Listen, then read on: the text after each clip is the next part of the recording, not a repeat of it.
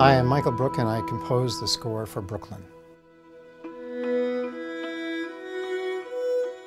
When I was 16, I got a guitar, started playing in rock bands in Toronto in high school.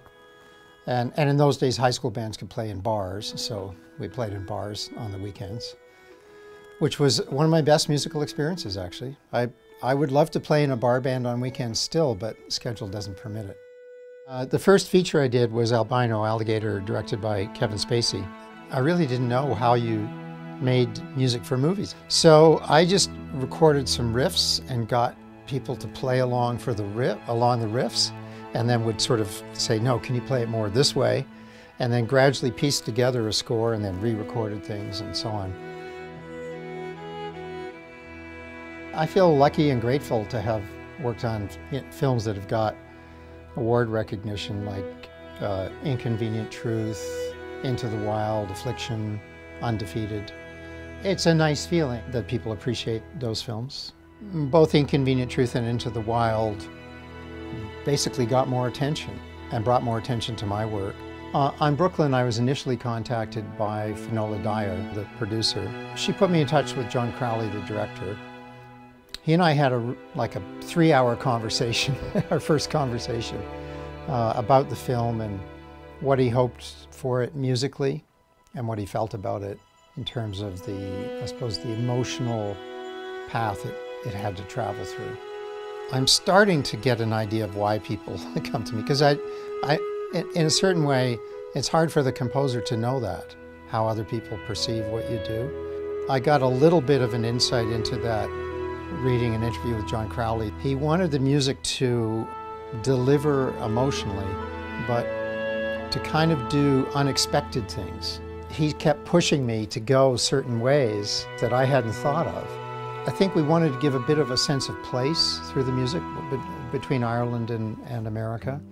And so there tends to be uh, like a bit of mandolin type stuff generally when we're in Ireland. And then in America, we've got a bit of clarinet and upright bass and that kind of thing.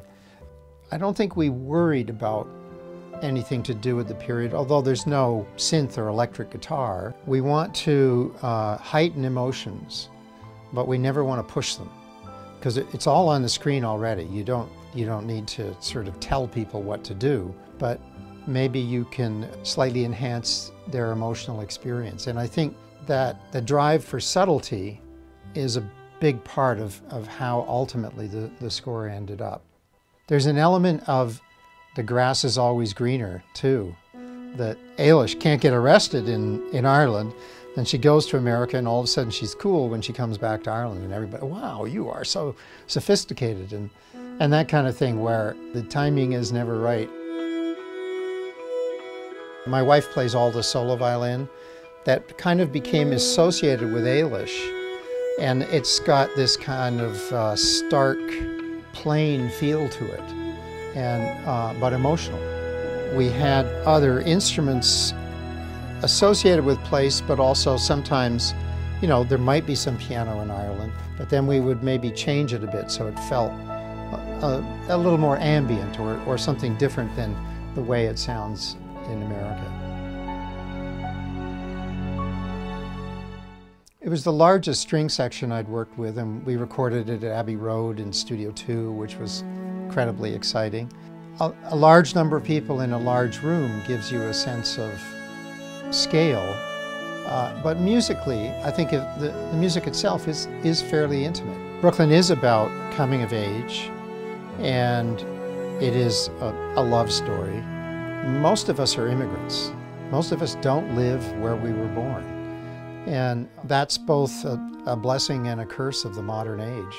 You know, as individuals, Maybe we are all more fully realized by being able to go to where the opportunities are. At the same time, I think we all pay a pretty big emotional price for that.